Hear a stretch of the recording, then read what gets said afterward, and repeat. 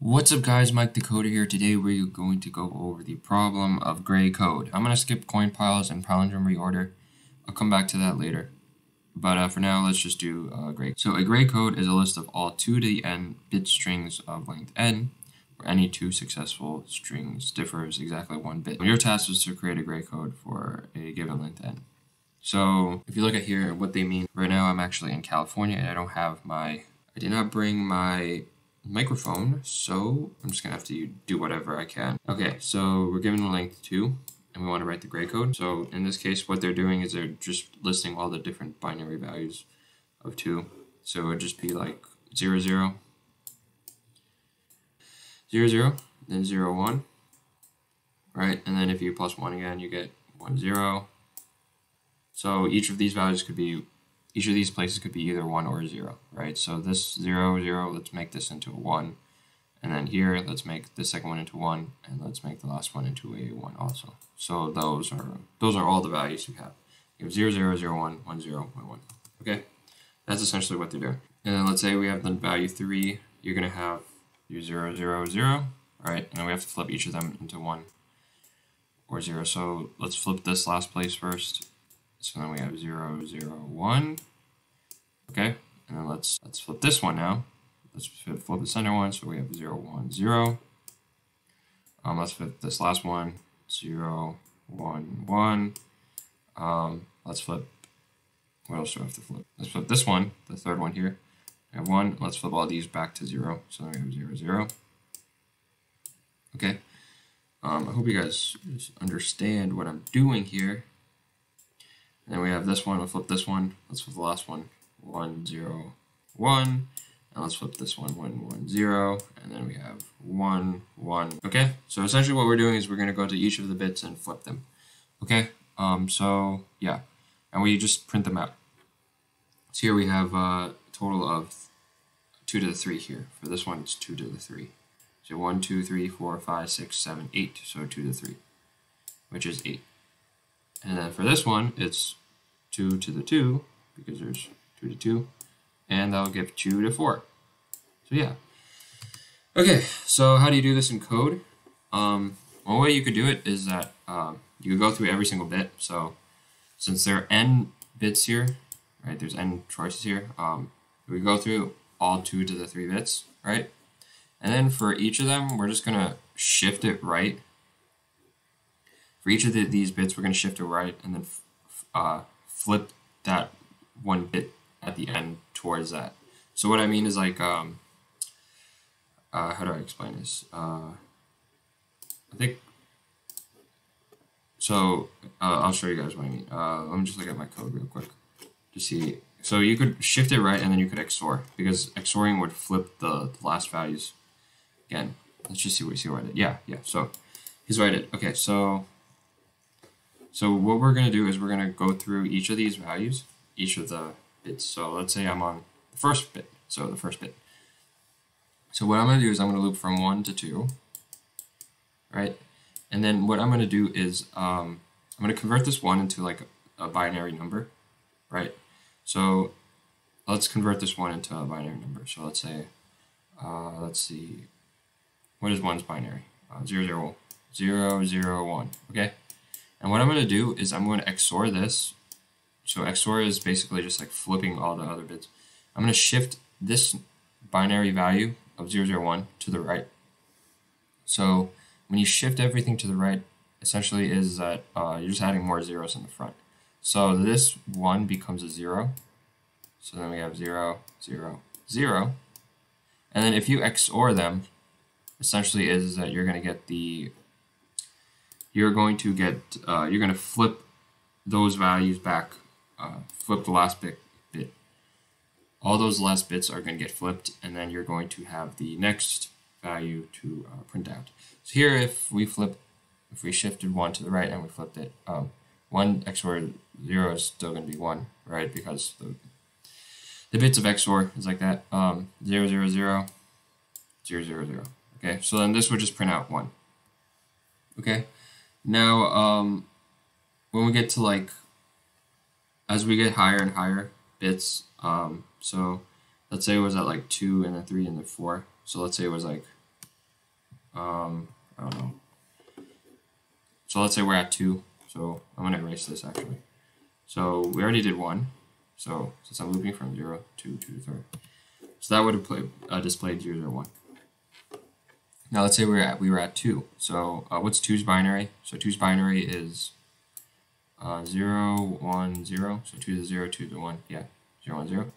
And then I'm going to shift this value uh, bits to the right. So if I shift it to the right, um, so shifting one bit to the right would be, this one would go to the right side, and then all the rest would be 0. So this 0 is gone, right? This 0 is gone, and then it would be 1, 0, 0. Okay? So I'll just write the next bit shift here, 1, 0, 0. So then after I bit shift it to the right and then I XOR it, 0, 1 becomes 1, 1, 0 becomes 1, 0, 0 becomes 0, and this would be the next bit of adding 1 to the to the right side of this. So essentially what we're doing is that we're gonna we're basically flipping the last bit into 1, okay? And then uh, for each of the values from 2 to the 2 to n, 2 to n. So because if we shift it right, shift the last bit to the right by 1 and XOR, um, all the values, if it was 1, all the values get added by 1, okay, in order to, to display it. So if you look at the pattern in here of 3, you'll realize that like the pattern of these sides, basically what they're doing is they're just flipping the last bit into 1. And then if it's 1, it flips to 0, and then it goes to the next one, and it flips the last one, 1 is 0, so on and so forth. So essentially what we're doing is that if we shift it right by 1, shift the number right by 1, and then we XOR it, we're to, we're basically changing each of the bits, the last bit, to turning it on or off for each of the values. Okay, so then if we loop from one, uh, loop from 0 to 2 to the n, 0 to 2 to the n, and we do it for all these values, all the values from i from 0 to 2 to the n, um, what we're doing is that we're basically uh, flipping each of the last bits over and over again. And then in the end, we're going to have all the actual bits there that are correct. Okay?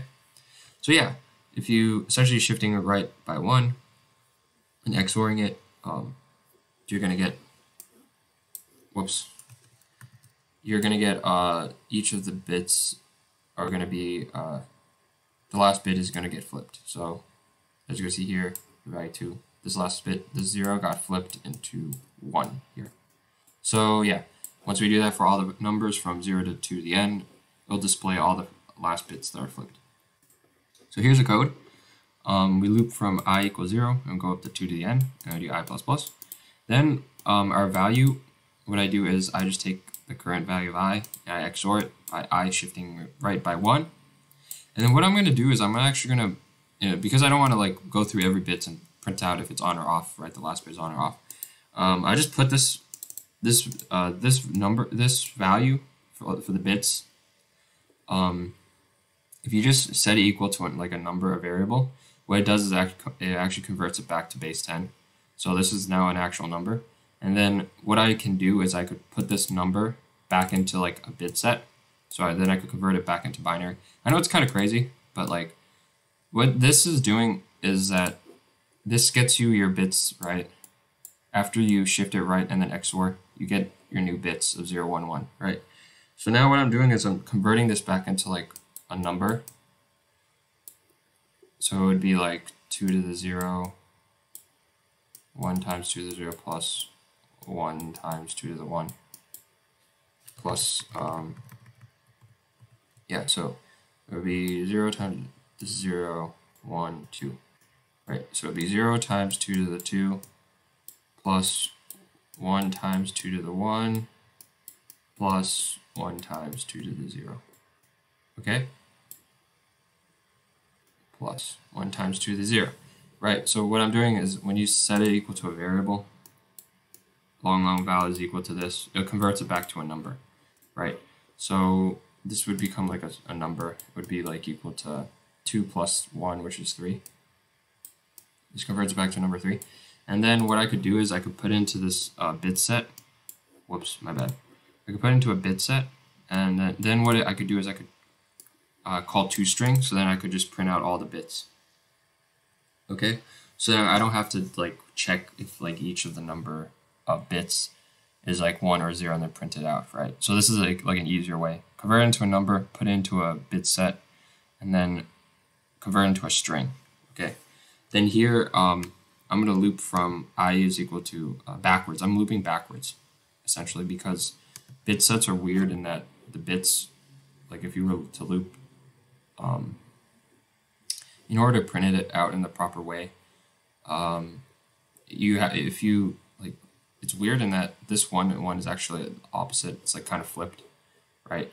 So what I did was I looped backwards from 32 to uh, 32 minus n, and i is less than 32 and i plus plus, right? And the reason why I did this is because, uh, yeah, it's because for some reason it's backwards. So yeah, I just printed it out. Um, print out the bits backwards.